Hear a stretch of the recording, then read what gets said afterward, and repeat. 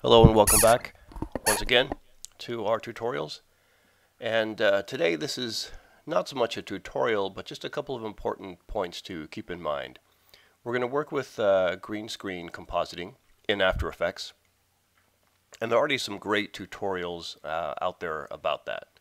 So I don't want to cover the same information, but I want to um, show some important things to keep in mind, especially when dealing with the difficult key and one that might have reflective items in there that will reflect the green screen, which is a bit of a problem.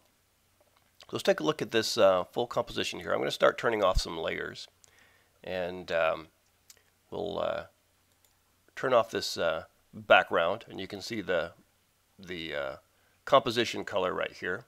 I've got a few other items here, some uh, light wrap and all that that I'm going to turn off and we'll just take a look at our our composite right here in the edges. So everything is looking okay, looking pretty good. There are some little details here, uh, fine details like this, hair, and these can be kind of difficult. Now I'm using the, the Keylight uh, here in After Effects, which is a great one and has a combination of three different effects. But there's some things to keep in mind when pulling a difficult key that might include hard edges like this and also soft and more uh, delicate things like this, and especially with um, with reflective surfaces. And that's um, the pulling a, a, good key might be more than a one-step process.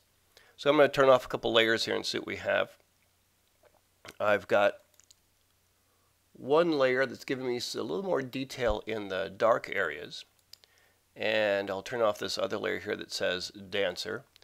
And uh, there we go. So here's my, my dark detail key right here to put some detail back in.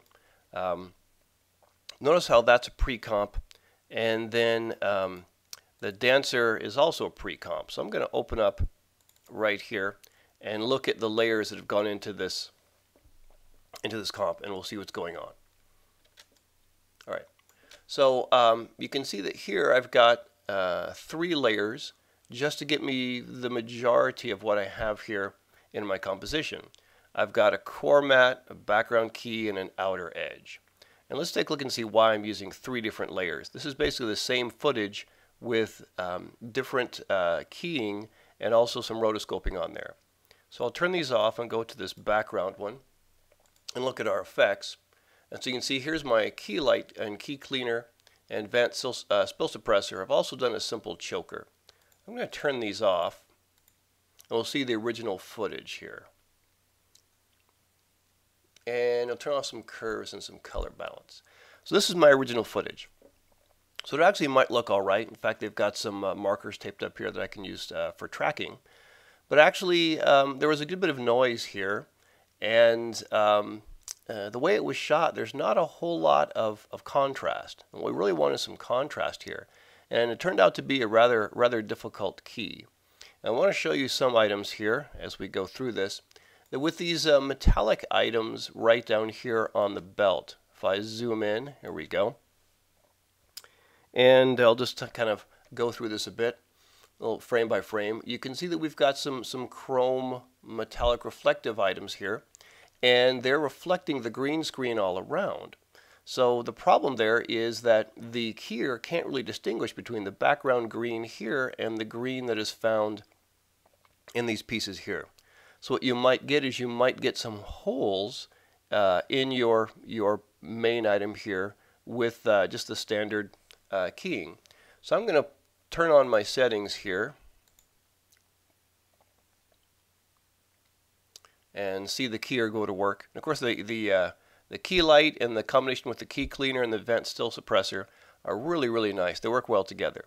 So um, it's done a fairly good job, but what you might not be able to see is uh, right in here, I'm going to change this color and go to my composition settings and just pull up something that uh, should be easier to see. Right there.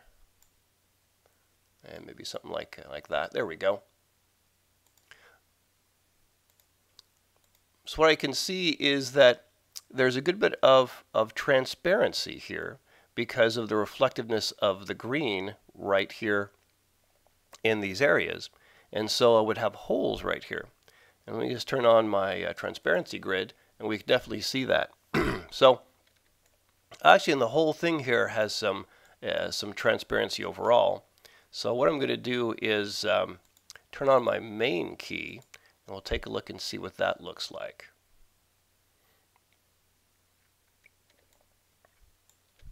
All right, so here's my, my main key and um, if I take a look at my, my settings here, there's my Keylight and, and key cleaner and um, my uh, spill suppressor.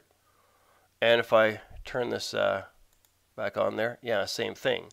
So I'm getting a um, good bit of, of transparency along the edge, and that might be okay. But a real problem is going to be right here, where I'm getting holes in the inner part of, of my, um, my key, and also right here this top is so white, it's reflecting the green, and it's, it's dropping away as well. So let me show you what I've done to combat that. I have this top layer here, which is called Core Matte. So I'm going to turn that on. And basically, I've just taken each of these and duplicated it. What you see here is that I've kept the Keylight. And of course, there is the Keylight right there. And there's the key cleaner. And there's the advanced spill suppressor. But I've actually turned off the Keylight. And what that has done is this is that you can see that it's filled in these areas here. If I turn on the Keylight and it's going to try and, and key out this green here, it's going to give me some um, some transparency where I don't want it. So if you just duplicate the the layer with all with your key, all your key elements here, and you just turn off the Keylight, then these parts here will go um, will go fully opaque. And what's taken the green out is, of course, the, the key cleaner. If I turn off the key cleaner,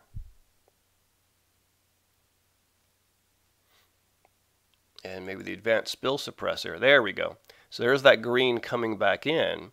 And what's getting rid of that and getting some nice neutral color here is the advanced spill suppressor, actually. And then it'll turn back on the key cleaner. So how am I keeping it um, opaque here but transparent right here if there's no key cleaner? Well, the answer to that is this. I actually did some rotoscoping. So this would be what's considered uh, a core matte, uh, or in this case, it's an articulated matte because I have to kind of animate it. Let me open up and show you the mask right here. So here's my mask, and here are the keyframes. So as I've duplicated this layer, I've turned off the Keylight so that it um, uh, gives me the opacity here with all the shiny stuff.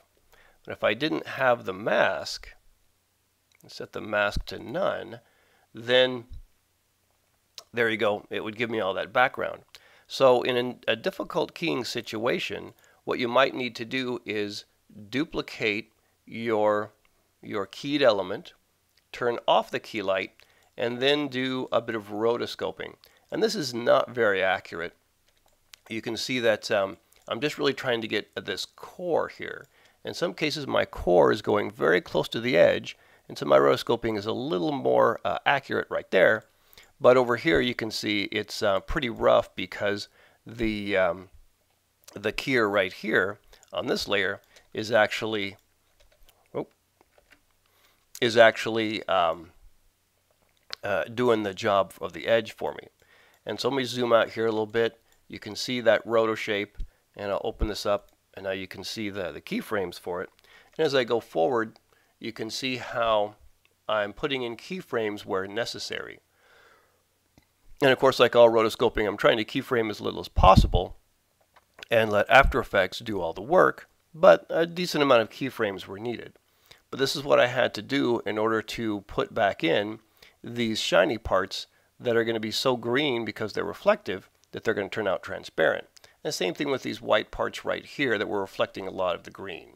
If it becomes too green, again, the keyer can't distinguish between that and the background and just keys them out. So you don't really want that. And what you might notice here is that this is uh, my core matte and I've put this in just to just to um, put back in these uh, shiny reflective parts that are capturing too much green. So that's looking good. What you might notice here on my background key is that I've got some um, uh, some roto mattes on there as well. So this mat right here is my garbage matte. Let's uh, click on this one and open it up. So this is my garbage matte. And some uh, studios, they call it a G matte. I worked at a place for a few days not really knowing why they were saying G matte. They're actually referring to the garbage matte. And so this just really quick, quickly crops out any junk out here. I don't worry about keying. I only care about the edge.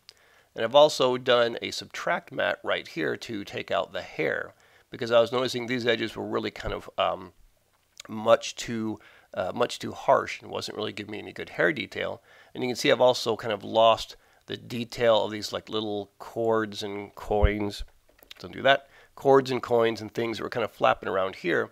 Often as you get a good um, a good edge right here, a nice soft uh, or a nice clear crisp edge right here, you might lose these little details.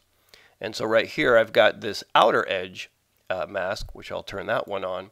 And that has put these, um, let's uh, turn that back on there. So that has actually put, um, there we go. That has actually put these small details back in. So I'll turn that off. You can see those little details right here. They got kind of lost along here. If I turn that back on,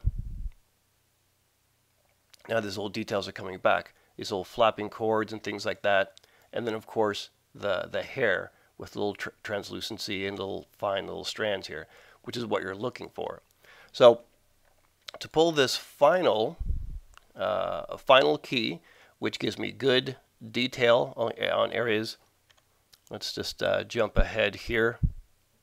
Gives me good detail on areas that have tiny little bits like these little cords and things that are kind of uh, flapping and blurry, you know, along here and here. And also with the hair, I've got one uh, key dedicated to just that. I've got one key that is the um, the full background, and this of course has the garbage matte. And I'm subtracting out this hair, so this hard edge, I lose that, and I get the soft edge here. And then I've got one key, which is uh, the core, and that is the one that has the Keylight turned off so that with the uh, advanced spill suppressor it's getting rid of that green color cast and uh, it's turning it to this kind of this nice neutral gray which works well for metallic and, and chrome and reflective stuff in this case but with the Keylight turned off then now that's giving me uh, full opacity here as opposed to the transparency and this is what you might need to do whether it's Photoshop or After Effects or whatever, pulling a good matte or mask is often more than a one-step process. And so I just want you to see the various tools that you might need to get a good edge. It's often it's a tricky um, balance to get a nice clean edge here, but then the soft, um, especially if they blur and move around uh, semi-transparent edges uh, right here. So then the um, the end result, as they are all uh, put together, you know, it was working well. And if I turn on this, uh, this background layer, it's that nice soft edge right there. I'm not going to get that nice soft edge along with a really um, clear edge right there as well. You know, that's, that's not really going to happen unless I um, am doing multiple, um, multiple mattes or multiple layers with different settings on the mattes. So that's um, really what we're all about today is how to get these combination soft detailed edges and then harder edges uh, so that you have um, uh, a good end result.